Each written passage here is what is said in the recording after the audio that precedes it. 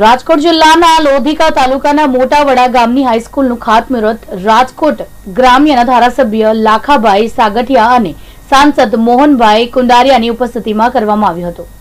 લોધિકાના મોટાવડા ગામમાં પ્રાઇમરી સ્કૂલના વિદ્યાર્થીઓને અભ્યાસ માટે સુવિધા હતી, પરંતુ પ્રાથમિક શાળામાં અભ્યાસ માટે દૂર જવું પડતું હતું.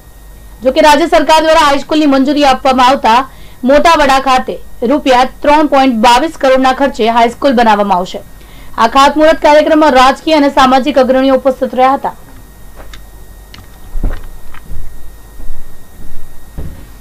નમસ્કાર.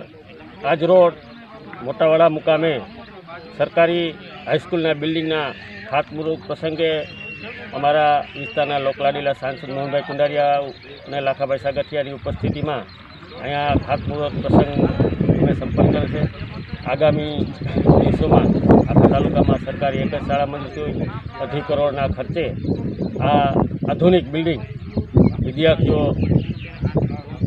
અત્યારની પદ્ધતિ મુજબ સારામાં સારું શિક્ષણ મેળવી શકે, સારા ખુલ્લા વાતાવરણમાં એનું બધી વ્યવસ્થા, લેબોરેટરી, કોમ્પ્યુટર સાથેનું આખું બિલ્ડિંગ તૈયાર થવાનું છે તો મોટાવાડા ગામના અને આજુબાજુના ગામના વિદ્યાર્થીઓને આ બિલ્ડિંગનો અને આ સ્કૂલ હાઈસ્કૂલનો ખૂબ જ લાભ મળશે.